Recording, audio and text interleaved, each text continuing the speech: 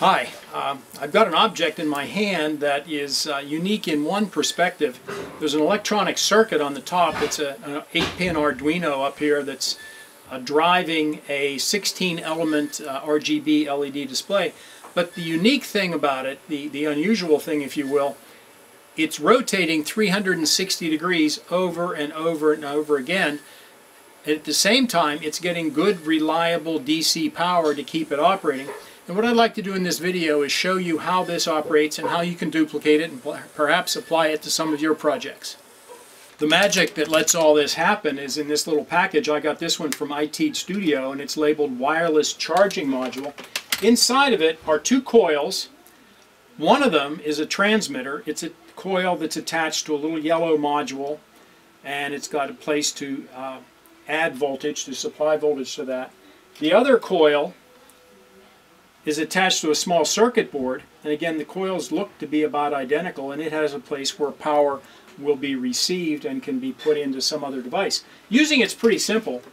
Uh, what I'm going to do is connect a, uh, a recycled cell phone battery 3.7 volts to the input on the transmitter. Just lay that there on the table. And I'm going to take an LED. This is a fairly bright LED with a current limiting resistor. And I'm going to bring this coil close and I think you can see the LED is brightening and dimming depending upon the distance. Uh, the working distance seems to be from about a 16th up to about a half an inch. One thing I did observe and that I have a good bit of detail on on my web page, I'll put a link to that web page in the description for this video.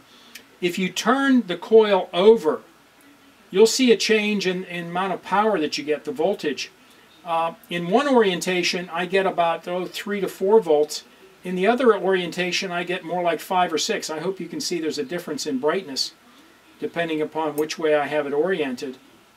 So that's an important thing to keep in mind because it might have an effect on any projects that you're working with. Now as a demonstration of the rotating um, ability of this charging module, I just have a little uh, project that I built. There's a small uh, gearhead motor down here and I've got a link to that uh, on my web page.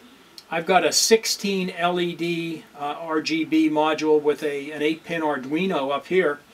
And there's a coil at the base that's attached to the bottom. It does not move. It's attached, of course, to the transmitter. There's another coil that is on a rotating disc that's attached to this shaft, and there's the circuit for that.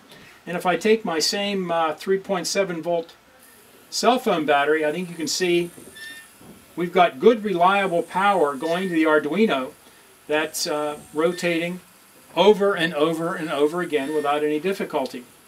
Now in addition to rotating things, which is really the, the thing I was interested in, you could also use this module to do static transfer. Let's say that you wanted to have a, uh, a light or some other animation inside of an aquarium or some other water container. You could put the transmitter on the outside of the glass, the receiver on the inside, hopefully a, a well uh, insulated circuit and it would work quite nicely.